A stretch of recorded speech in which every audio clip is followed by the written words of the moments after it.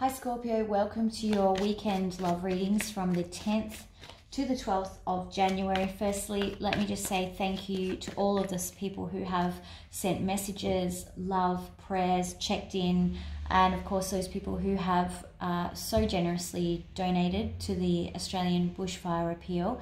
If you are still looking to donate, uh, there are two links on my community page on the last post that I made on that page. The first link is for locals in Australia. International donations can't be made through that link. So there is a second link which provides an organisation where uh, international donations can be made. So again, thank you so much. It's been overwhelming, all of the support we've received here in Australia hopefully this craziness ends soon. So we all are hoping, praying, um, and waiting mostly. So, okay, let's get started with your love messages. Don't forget to like and subscribe to the channel. Leave a comment down in the comment section below. Also, these are general love readings, so they're not going to resonate with everyone. That's okay just hit the notification button and head on over to another tarot reader here on YouTube. You will come in and out of resonation with different tarot readers. It happens all the time. It's quite normal. All right, let's go. Scorpio love messages, please. 10th to the 12th of January. Oh, Scorpio. What's all happening? Page of Pentacles, clarified by the Strength card in reverse, King of Cups in reverse. Mm. We'll take one more, please.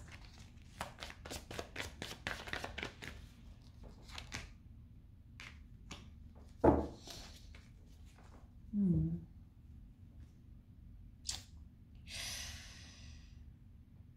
Scorpio.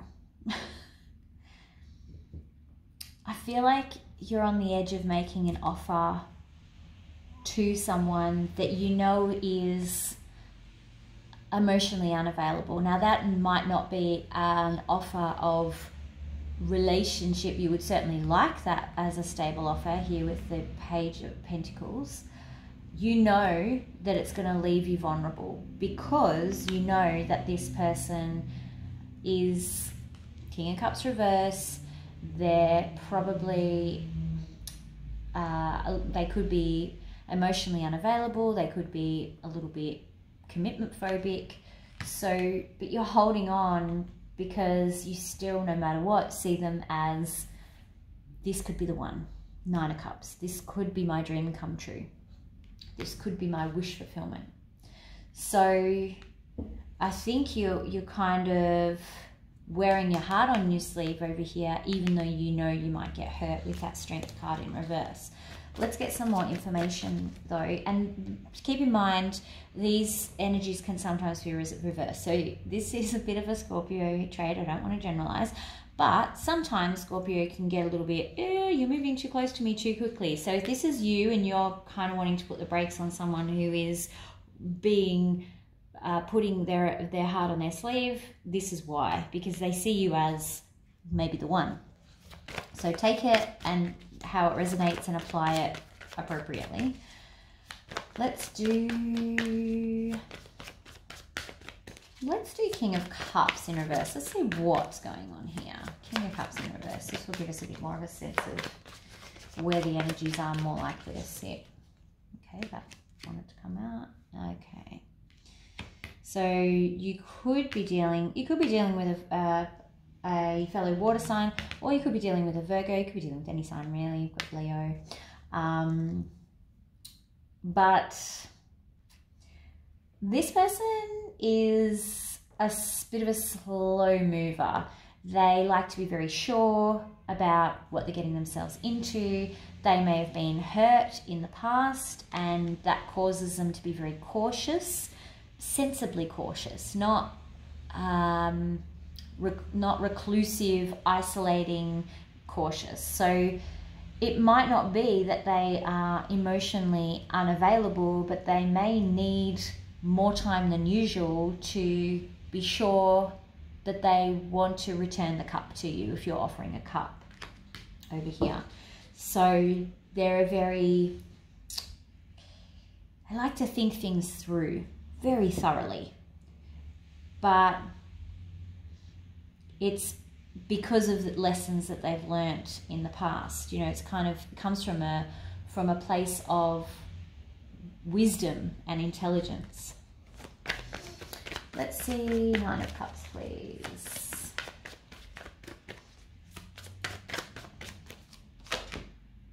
Yeah, see, you're over here, you're like, I want to give them the world. I want to be King of Pentacles. I want to give them everything I own, everything I have, all the love I have, all the possessions I have. I want them to have it all. I just want to share everything with them. This is long term commitment as well. Like, this is, you really do see them as someone that you could spend the rest of your life with.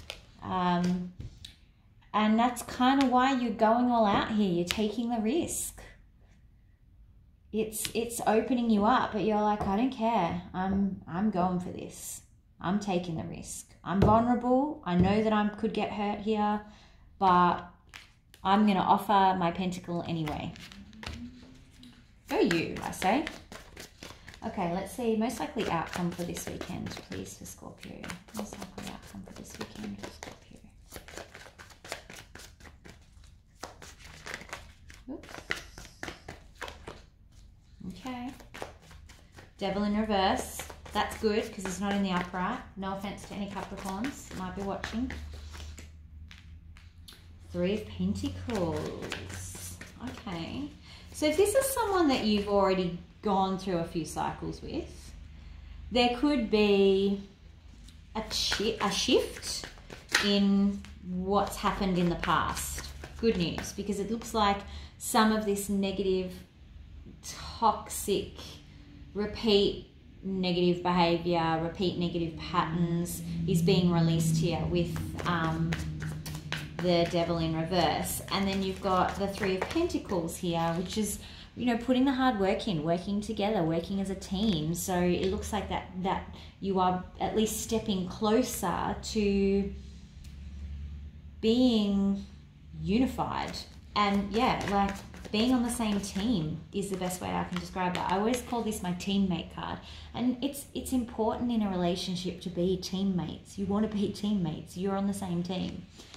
Um, Nine of Pentacles. There is still an element of um, like almost fiercely independent here, being almost too independent. Um,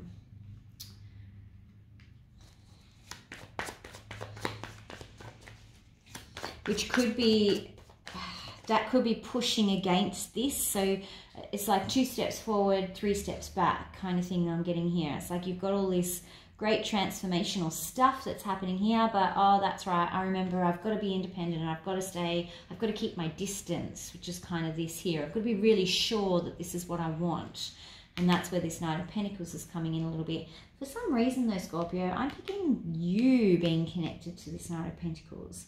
So sometimes the Nine of Pentacles in reverse can be a fear of being single or fear of being alone. In the upright, she's super happy. She loves being on her own. She loves the independence. She's confident. But in reverse, she is afraid of those things. It overwhelms her. Being alone is scary, and I have to fill up my time by spending my time with lots of other people so I don't have to face my problems. I just want to make sure that you guys are considering that in case this is something you might resonate with yourself. Okay, so it's something to be aware of. Go into this with all this stuff sorted out. Let's go with uh, advice, please, for Scorpio. Advice for Scorpio.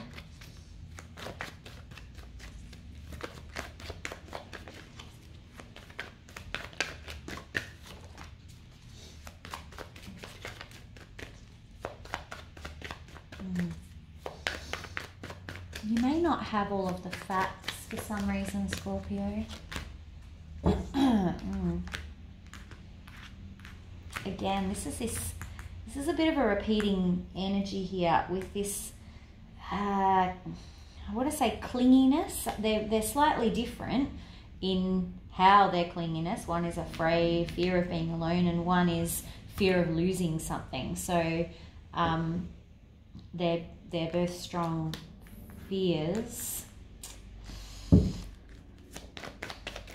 It's almost like it's saying, don't cling too tightly to this. Um, I don't know why though. hopefully get that. Ah. Scorpio, you might not be connecting with your intuition. There's something that's not, you don't have all the information, something's hidden from you.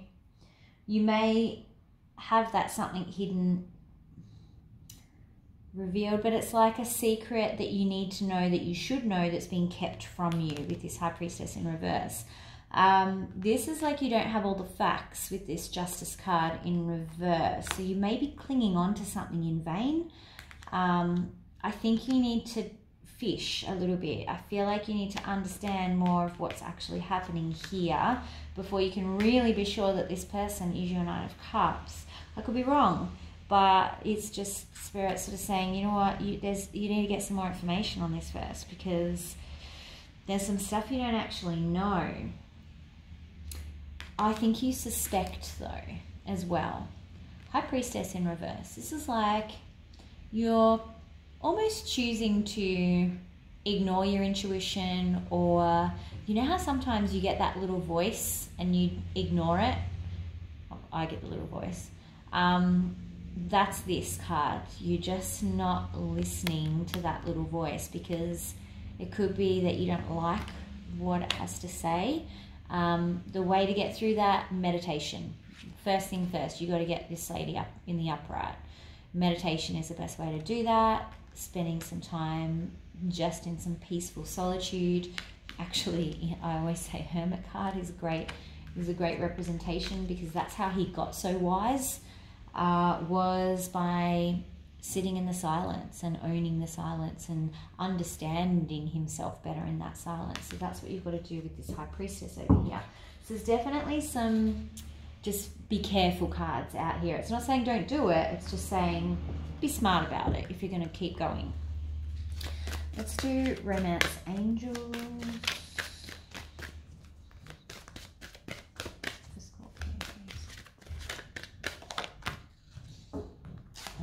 Scorpio, unrequited love. So that could be what is going on here. Um, it may be that this person is masquerading as I need to take it really slow. I need to just really, you know, be careful and only I want to be really sure about being in a relationship before I'm in one. When really underneath, they're actually um, not emotionally stable enough for a relationship, firstly, and not emotionally available. So that could be where unrequited love is coming in. But again, I feel like, excuse me, that was weird. Um, you already have a hint of this. You and if this isn't resonating with you at all, that's fine. Please don't try and make it fit. If you've got something amazing happening, don't think that this person's lying to you. Um, this is a general reading, so only take it if it resonates. Take the parts that resonate, leave the rest. Um, but I think for some of you or a lot of you, you kind of already suspect. If you're really honest with yourself, you kind of already have a bit of an idea. All right. I think it might be a difficult weekend for you this weekend uh, Scorpio, but you know what? Nothing is bad forever. So I think once you do some meditation, kind of sit with yourself, do some inner work, it might make that time pass a little bit quicker. Okay, thank you so much, Scorpio. Have a great weekend, and I will see you back here for the weekly reads. Talk to you soon. Bye.